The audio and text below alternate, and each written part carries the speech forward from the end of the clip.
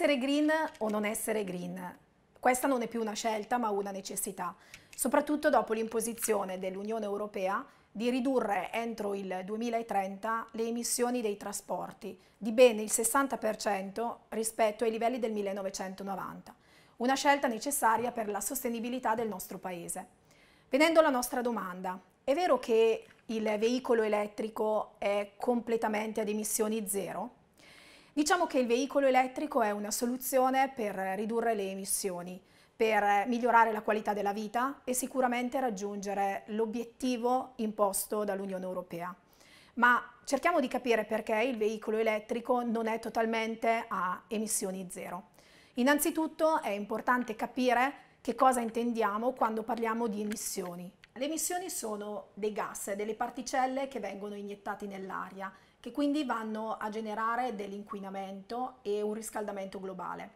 Per esempio il processo di combustione dei combustibili fossili per la generazione di energia elettrica determina sicuramente queste particelle. Capite bene che l'energia elettrica risulta essere il termine chiave per la nostra macchina elettrica. Senza energia elettrica il nostro veicolo elettrico non potrebbe funzionare, non potrebbe muoversi.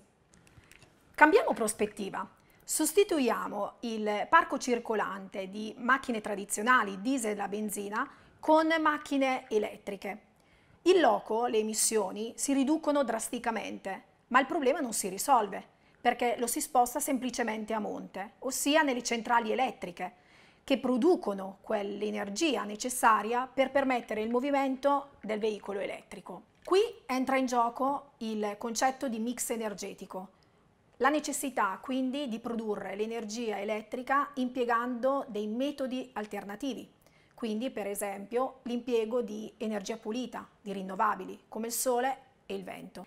In termini di performance ambientali, il veicolo elettrico non ha competitor rispetto a macchine tradizionali, soprattutto perché durante il suo movimento il veicolo elettrico, non avendo eh, una marmitta, non genera e non emette nell'aria polveri sottili, tendenzialmente chiamate con l'acronimo PM, e ossidi di azoto, NOx. Quindi è necessario cambiare il concetto di mobilità, soffermandoci soprattutto sulla sostenibilità del nostro pianeta.